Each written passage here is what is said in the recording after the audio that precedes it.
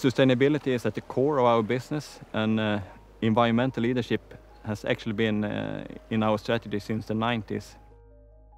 Our forest has two big contributions to mitigating climate change. First, we have the growing trees that absorb carbon dioxide from the atmosphere. And secondly, we have the renewable material from the forest that can replace fossil material. The first component is the net uptake of carbon in the growing forest. When we have the gross growth in the forest and then we take away the natural losses and the harvested volume, then we have a net uptake in the forest. The second component is a substitution effect, and then we calculate the climate benefit when material from the forest replaces fossil material. That could be, for example, when we build houses in wood instead of, of concrete, that we use paper-based uh, packaging instead of plastics, or if we have renewable energy from the forest instead of coal and oil. The third component is the fossil emissions from our whole uh, value chain, from the forest, when we harvest in the forest, to the transportation to the customer.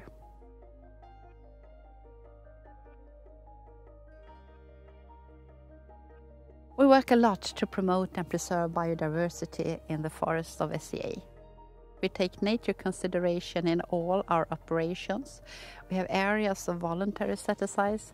We use alternative methods and we also have specific actions to promote threatened species.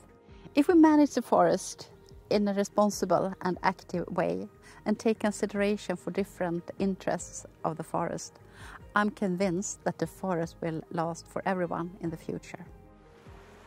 From a sustainability point of view, it's very important to utilize all, all the side streams in the best possible way. Uh, and we have identified a number of interesting areas to further strengthen our sustainability profile. Uh, with the growing population, the demand for protein increases and insects are more efficient to produce proteins, also in a more climate neutral way than traditional uh, protein sources. Our part of this project is uh, to utilize the sludge from our effluent water treatment. Uh, the sludge will uh, be an excellent uh, source for, for the worms to feed them and uh, work as an animal feed.